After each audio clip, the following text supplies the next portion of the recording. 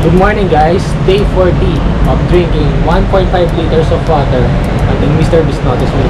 Let's go!